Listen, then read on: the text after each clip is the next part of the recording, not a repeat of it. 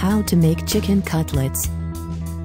Ingredients 4 boneless, skinless chicken breasts 2 slash 3 cup fine dry bread crumbs 1 slash 3 cup grated parmesan cheese 1 slash 4 cup fresh chopped parsley 1 slash 2 tsp salt 1 slash 8 tsp ground black pepper 1 egg 2 tbsp milk 1 slash 2 cup flour 2 to 4 tbsp cooking oil for frying rinse the chicken under running water dry the pieces in between a double layer of clean paper towels blotting them dry hold the chicken on your cutting board slice the chicken breast horizontally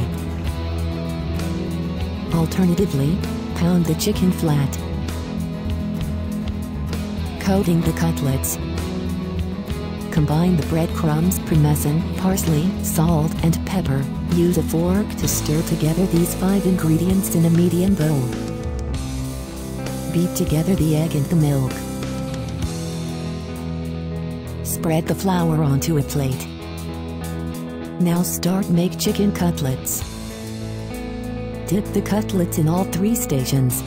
Coat each cutlet in flour, then the egg mixture, and then the crumb mixture. Preheat the oven to 400 degrees Fahrenheit, 200 degrees Celsius. Arrange the cutlets on the baking sheet.